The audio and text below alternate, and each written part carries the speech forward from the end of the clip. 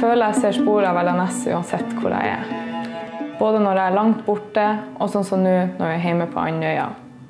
Rett bak meg her ser vi landingslysene til nordvestenden av innflyginga til Andøya lufthavn. Det var faktisk vi i LNS som gravde ned disse kablene for flere år siden. Og som vi alle vet, er det veldig værhardt her på Andøya. Og jeg tror mange, både militære og sivile, setter umåtelig stor pris på det arbeidet folkene har gjort i LNS under utbygginga av tverrvindbanen i 1967. På det meste var det hele 52 lastebiler i drift samtidig. Jeg ble tidlig kjent med anleggsbransjen og LNS. Som oldebarn til Leonard og barnebarn til bestefar Malvin, og en av de tre ungene til Frode og Merete, kan man si at man fikk det tidlig inn med teskje. Jeg tror jeg var rundt 16 år da jeg fant ut at det var anleggsbransjen jeg ville jobbe i. Jeg fant ut at kjemi var dritkjedelig, og at en 8-4-jobb ikke passa meg. Så når han pappa spurte meg om jeg hadde lyst til å være maler på et uh, jernbaneprosjekt på Holmestrand i 2011, så var jeg ikke tvungbedt. Jeg har en mistanke om at dette var baktanken til han pappa da han sendte meg det dit for ti år siden. Fra å klatre på hjullasterne som seksåring med kompisene mine, til å være vaskehjelp på gammelkontoret fra syvende klasse, fikk jeg endelig se hvordan bransjen faktisk fungerer. Nå, etter to år i arbeid som ferdigutdanna og et halvt år i LNS, har jeg fått tilliten til å være assisterende anleggsleder på et av prosjektene våre i Trondheim.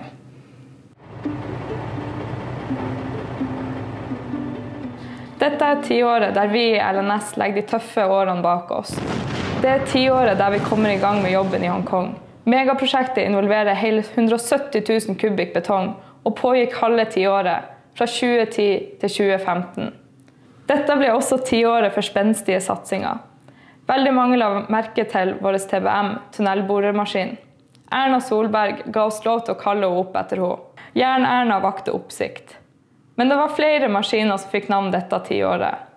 Jeg fikk gleden av å døpe den nye betongsprøyteriggen fra Nordmet. Den heter Frode 1. 2017 markerte starten på rubineventyret på Grønland, og LNS har neppe vært involvert i et vakrere produkt. Vi jobber som vanlig med mange prosjekter, og akkurat nå er vi i gang med to omfattende anlegg som begge er verdt mer enn 1 milliard hver. Det er Svenningselv Lien i Trofors på Helgeland og Kvænangsfjellet i Troms og Finnmark. Så hvordan blir framtidas LNS? Det er selvsagt ikke lett å si. LNS har alltid hatt et tydelig fokus på et godt arbeidsmiljø, men de siste årene har vi også hatt større fokus på både ytre miljø og kvalitet. Vi har ansatt mange unge, dyktige medarbeidere, og har senka snittalderen i ledelsen og på prosjektene betydelig. Og vi er stolt over vår lærlingsatsing, Per i dag har LNS 27 lærlinger fordelt på seks ulike fagområder. Helt til slutt vil jeg ta dere med til Færøyene og fortelle om han Ketil Nygaard, som har jobba hos oss i 20 år. Han starta i Sveagruva på en treukerskontrakt, og i dag legger han sin ære i å vise vei for yngre medarbeidere. En av disse er han Sondre Pedersen. Sondre var lærling fram til september 2020. Og nå får han prøve seg som det vi tror er LNS sin yngste bas noensinne, under Ketils beskyttende vinger. Ketil så noe spesielt i unge Sondre, og valgte å gi han en sjanse i vårt prosjekt på Færøyene.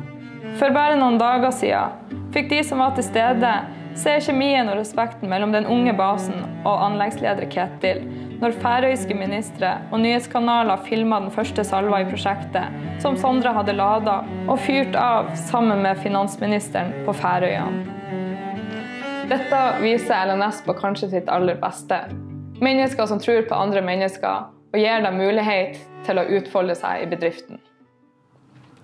Det er ikke rart at LNS satser på unge og lærlinger. Firmaet ble tross alt stifta av en 19-åring og hans far.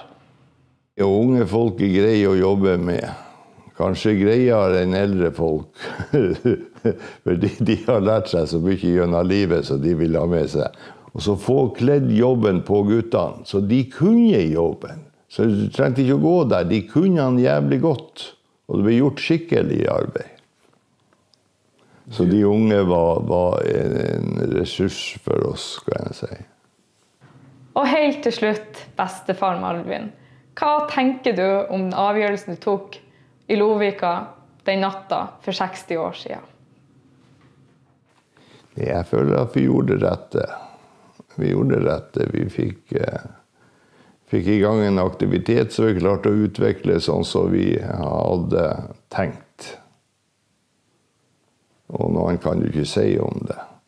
For guttene var med på både stengning og, og alle sammen. og det som var problemet, det var det starten med den gamle dosalen og det der, der, for det var jo mer skruing enn det var arbeid.